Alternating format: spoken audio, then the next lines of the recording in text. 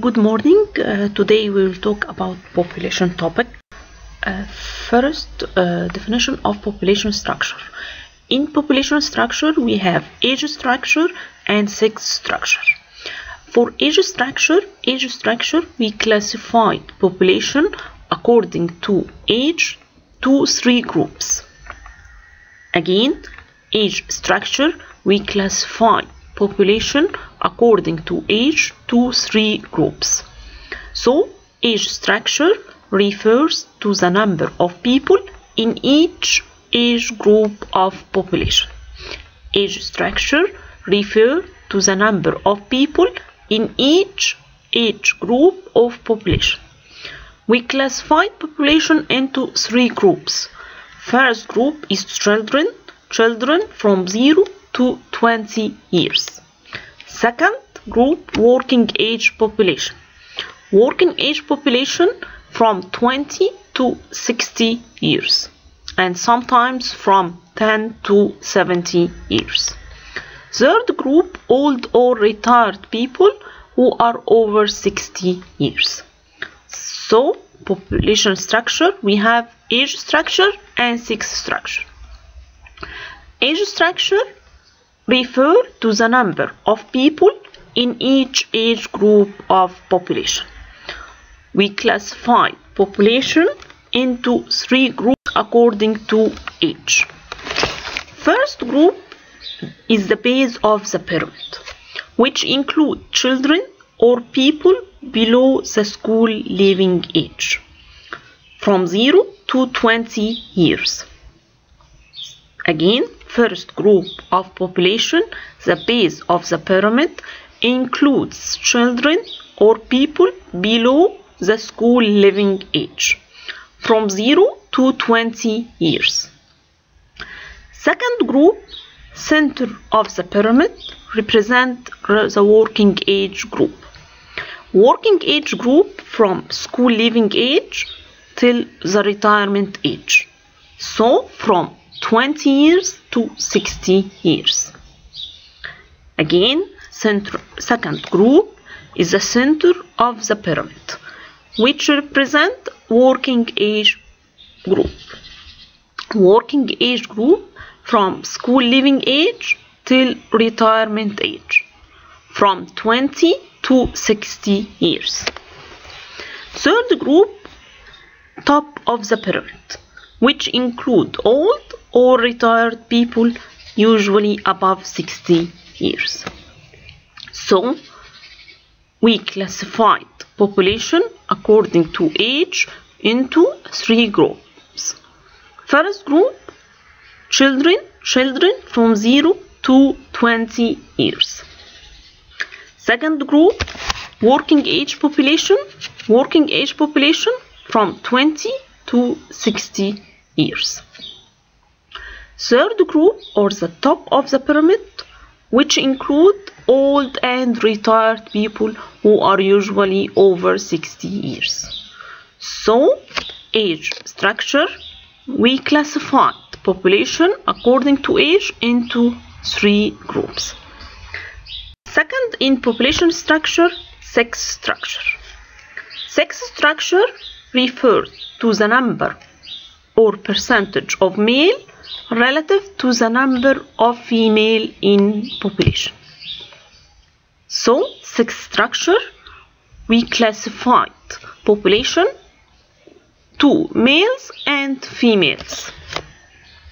In our study of population structure, we have to discuss some main definitions, some main concepts. Working age population, labor force, dependence ratio, expectancy lives and aging population. So in population structure we have age structure and sex structure. In age structure we classify population according to age into three groups. First children from 0 to 20 years. Second group working age population. Working age population from 20 to 60 years Third group, old or retired people who are over 60 years.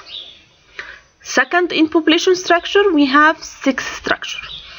In sex structures, we classify population into males and females. So we have to discuss some main concepts, some definitions related to population. So first concept is working age population. What we mean by working age population? Potential labor force of a country includes all persons from 10 years to 70 years. Again, working age population included all persons in the country from 10 years to 70 years. Second concept or second definition, working population. Labor force. This includes all peoples able, willing, and seeking or searching for a work. So we have three requirements to consider as working population, as a labor force. He must be well, willing to work, able to work, and searching for a work.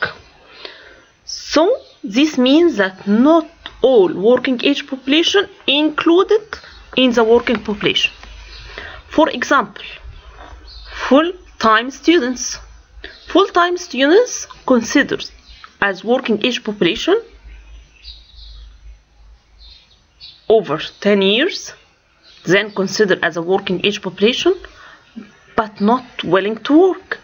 So it's not included in the working population, not included in the labor force. Another example, we have housewives. Housewives included according to age to working age population, but not willing to work, not seeking for a work. So it included in working age population, but not included in working population. So working age population is the potential labor supply of, a country includes all persons from 10 to 70 years. Working population just apart from working age population. Working population or labor force includes people who are able, willing, and seeking or searching for a work. The dependent population and dependence ratio all groups of people who are not included in the labor force are called dependent population. For example, children, full-time students, housewives, old or retired people all are considered as dependent population. So, the dependence ratio is the ratio between non-working population and working population. Again, dependence ratio, ratio between non-working population.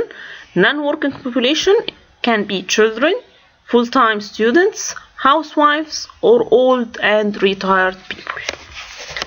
And working population. So, dependence ratio is the ratio between non-working population and working population. The expectancy life the expected life, the expected is the expected number of years that an individual is supposed to live.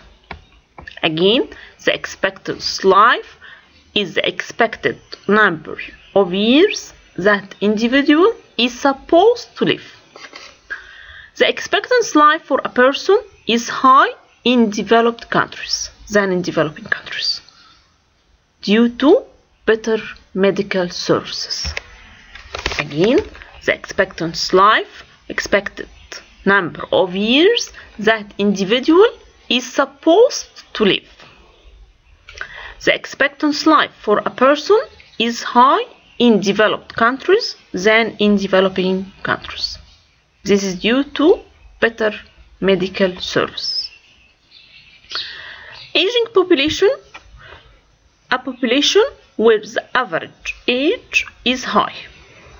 This is one of the demographic aspects of the developed countries.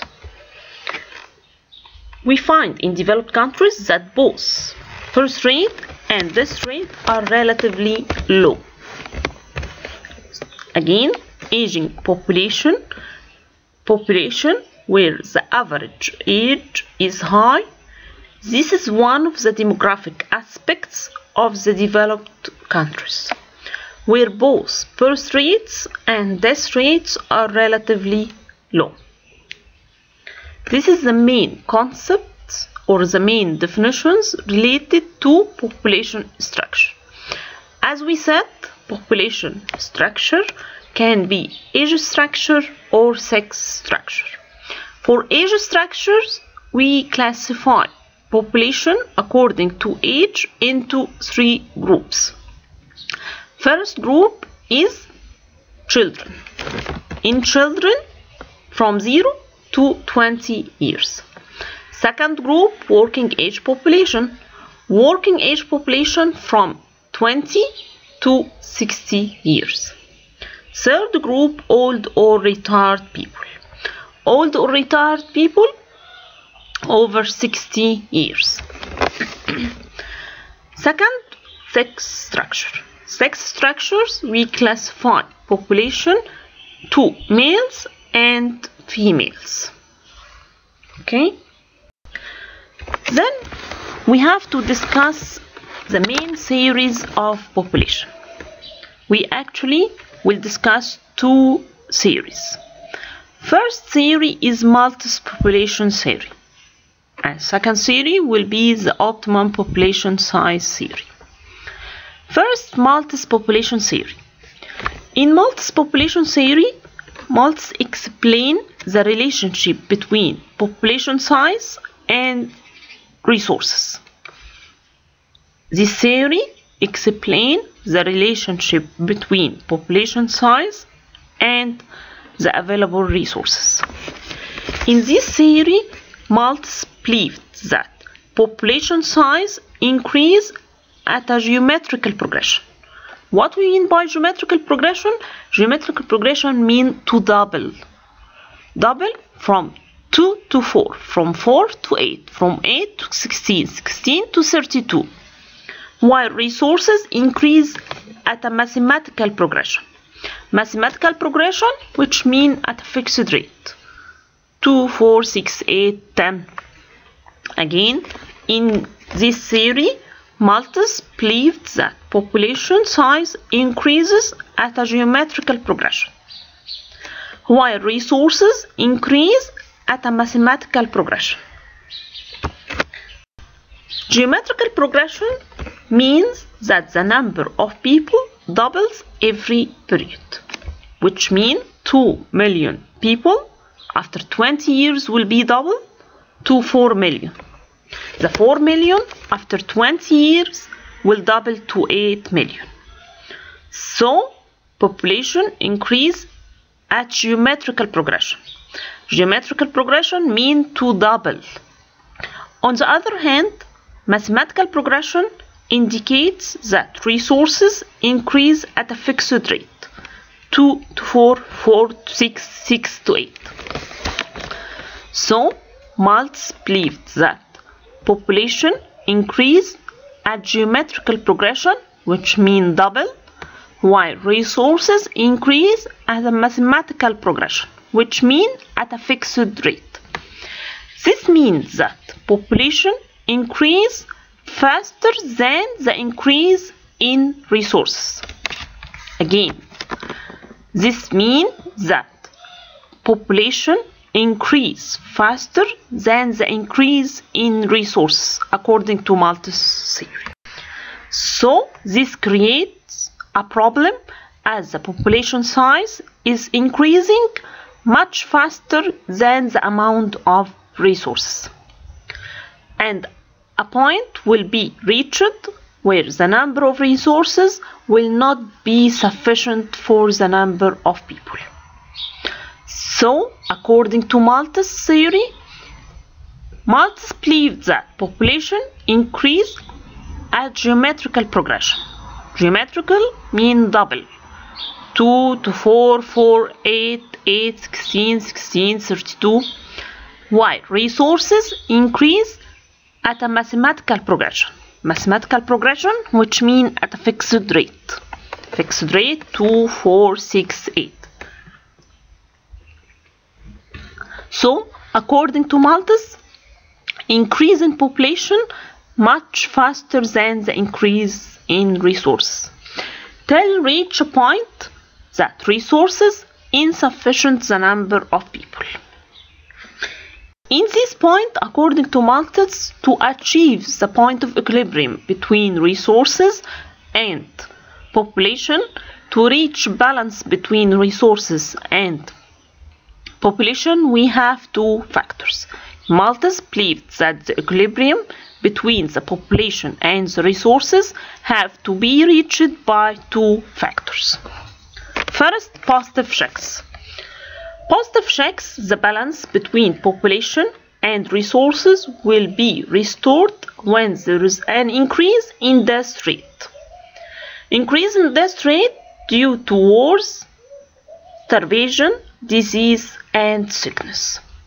So, according to Malthus, to achieve equilibrium between population and resources, to achieve balance between population and resources, we have two factors.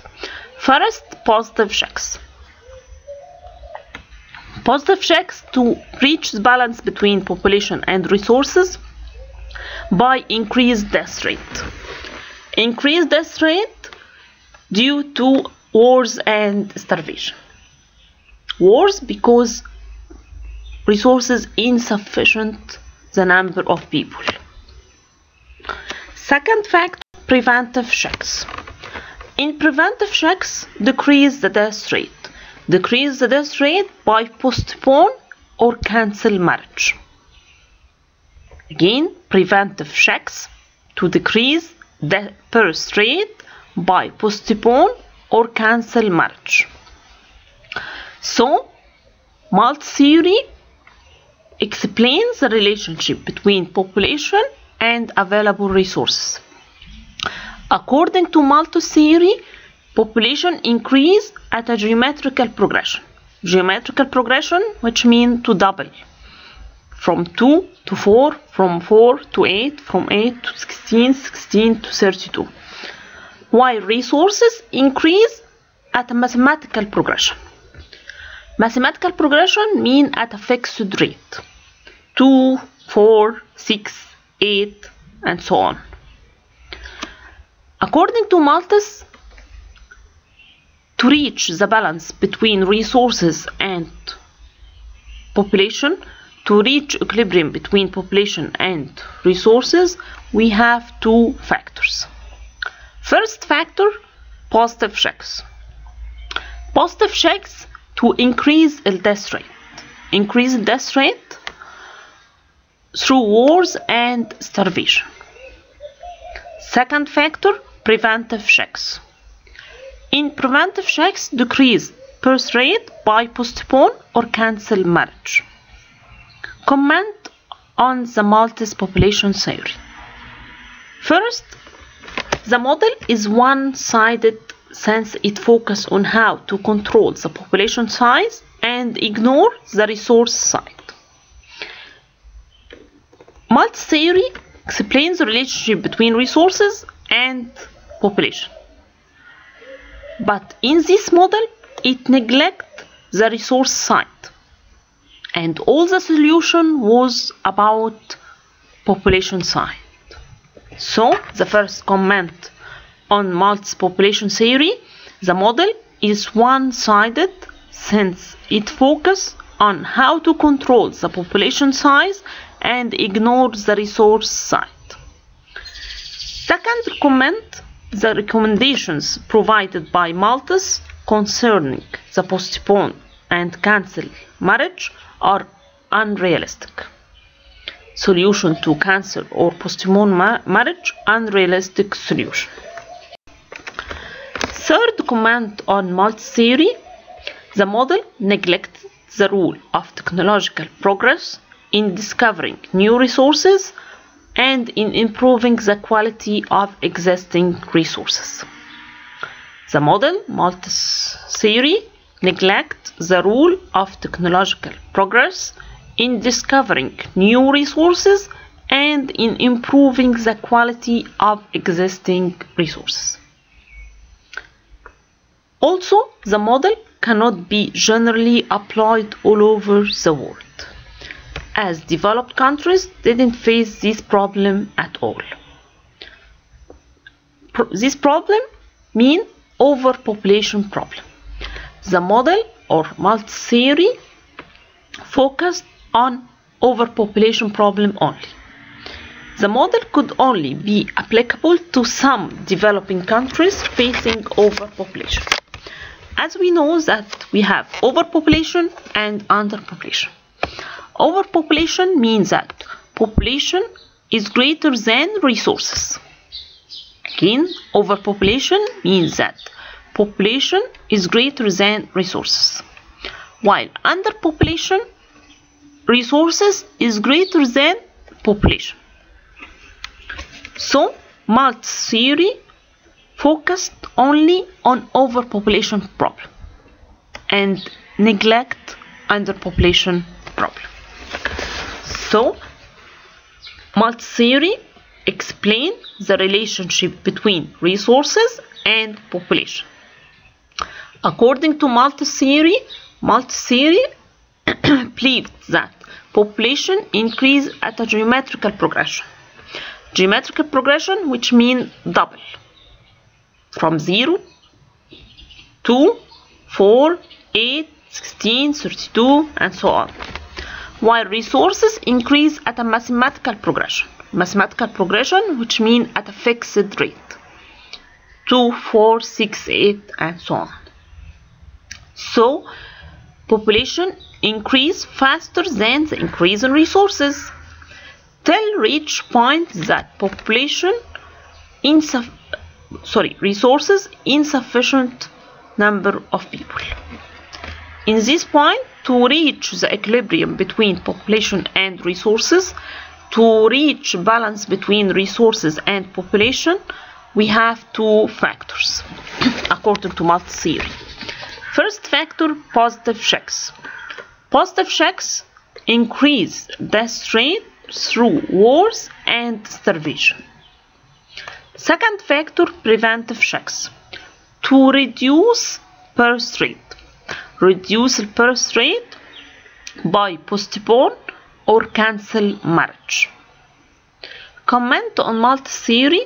Number one, the model or Malthus theory ignored resources side. We have population side and resources side all solution was related to population side and ignored resources side. Second, the model neglect the role of technological progress in discovering new resources and improving the quality of existing resources. Also, solutions according to Malthus theory to postpone or cancel marriage unrealistic solution. Also, the, the model cannot be generally applied all over the world. The model could only be applicable to some developing countries facing overpopulation problem. Second theory is the optimum population size theory. In optimum population size theory, they classified countries to underpopulated countries and overpopulated countries. Underpopulated countries where resources is greater than population. For underpopulated countries, increase in population will increase production. Increase in production will increase per capita income. Again, in overpopulation countries, population is less than resources. In this area, in underpopulation countries, increase in population will increase production. And increased production will increase per capita income. till reach point M. Point M maximum per capita income. After this point, which called the optimum population size point, point M, which reach maximum per capita income, after this point, the country will suffer from overpopulation problem. In overpopulation countries, increase in population will decrease per capita income. Underpopulation refers to having more resources than people. In this case, increase in population indicates more production and as a result will increase per capita income. So, in underpopulation countries where resources is greater than population, increase in population will increase production. And increased production will increase per capita income. On the other hand, overpopulation refers to having more resources than more people than resources. In this case, an increase in population decrease per capita income. The optimum population size is a point where the per capita income will be maximum. Maximum per capita income. So, according to optimum population size theory, classified countries to underpopulation countries and overpopulation countries. In underpopulation means that having more resources than people. So increase in population will increase production. And increase in production will increase per capita income. Till reach point M. Point M maximum per capita income. This point called optimum population size. On the other hand, overpopulation countries mean that we have more resources, more people than resources. So, increase in population will decrease per capita income. Comment on optimum population size theory. First, this theory is more realistic than Malthus theory. Countries classified as either or underpopulated or overpopulated. Underpopulated countries need to encourage birth rate, while overpopulated countries need to reduce birth rate. So, this theory is more realistic than Malthus theory. In this theory, classified countries to underpopulated and overpopulated. Underpopulated must increase birth rate, while overpopulated countries need to reduce birth rate. While in Malthus theory, Malthus theory explain overpopulation countries only. But in optimum population size, classified countries to underpopulated and overpopulated countries. Second comment on the optimum population size theory. Practically speaking, one cannot specify the optimum population size. This is because first, resources are changing and dynamic. Second, it's not about the quantity of people but the quality of people. So to specify the point of optimal population size is very difficult. Why? Because resources are changing, resources dynamic, and it's not about the quantity of people but the quality of people. So, according to optimal population size, optimal population size classified countries to underpopulated and overpopulated countries.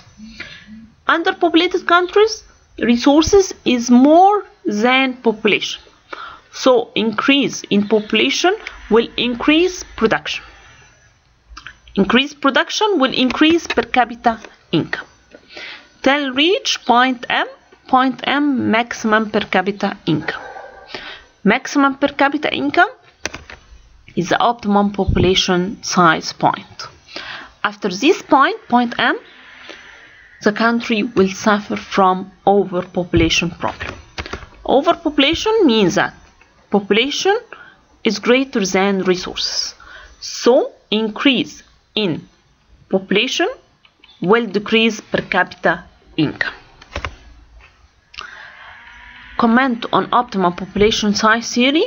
This theory is more realistic than Malthus-theory. Countries classified as either underpopulated or overpopulated. Underpopulated countries need to increase birth rate, while overpopulated countries need to reduce birth rate. Second, practically speaking, to specify optimal population size point is very difficult because resources are changing and dynamic and also it's not about the quantity of people but the quality of people. So for the labor supply labor supply size is determined by the following factors. By the size of population and the structure of population. As we said before structure of population can be age structure or sex structure social factors like educational pattern and the willingness of women to work outside the home also affected the labor size supply size. Okay? The labor supply size is determined by the following factors. The size of the population, the population growth rate, second, the structure of population, age structure and sex structure, social factors like educational pattern and the willingness of women to work outside the home. The rapid population growth coupled with lack of resources need to develop the education system and to improve the quality of educational services results that labor supply don't match the need of the labor market. We have this match between labor supply and labor market. For the labor demand, the main factors affecting labor demand, the demand for the products itself. The demand for labor is according to demand of the products. If consumers want more of a particular good or services, more firms will want the workers that make the product. So the demand for labor is from the demand for the product itself. Also, the wage rate will affect the labor demand. The higher the wage rate, the lower the demand for labor. At higher wages, firms will look for us to substitute capital for labor.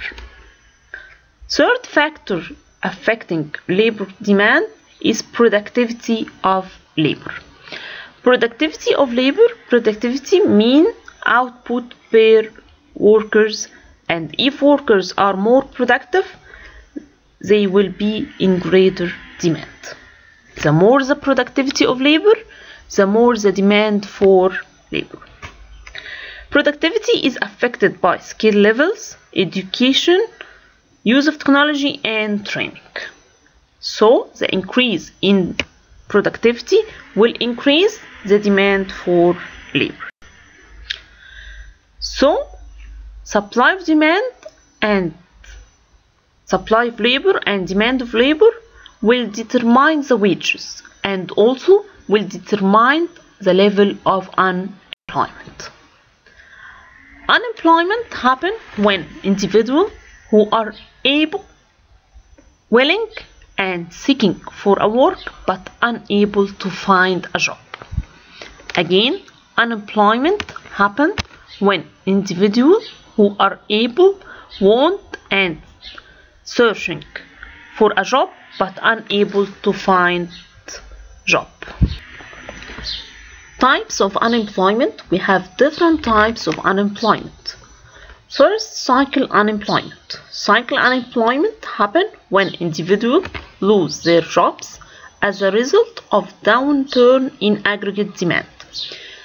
Cycle unemployment happens when decrease the total demand, the aggregate demand. Second, structure unemployment. Structure unemployments happen when certain industries decline because of long-term changes in market conditions.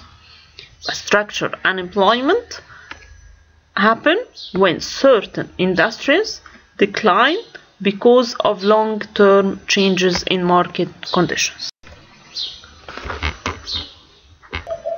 Also, we have fractional unemployment. Fractional unemployments happen when workers lose their, their current job and are in the process of finding another one. So, fractional unemployment happen when workers lose their current job and in the process of searching for another job. We have also technological unemployment. Technological unemployment happens as a result from the introduction of new techniques on large scale. The replacement, for example, the replacement of workers by machines. Again, technological unemployment, the replacement of workers by machine. So, technological unemployment is a result from the introduction of new techniques on a large scale. Also, we have seasonable unemployment. Happens because certain industries only produce or distribute their products at certain times of the year.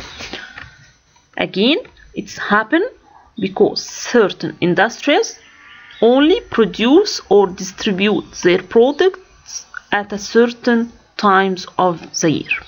For example, ice cream factories. Ice cream factories will have high demand on summer, but in winter the product demand will decline. Voluntary unemployment. Voluntary unemployment is defined as a situation when workers choose not to work at the current equilibrium wage rate. For one reason or another, workers may select not to participate in the labor market. Okay?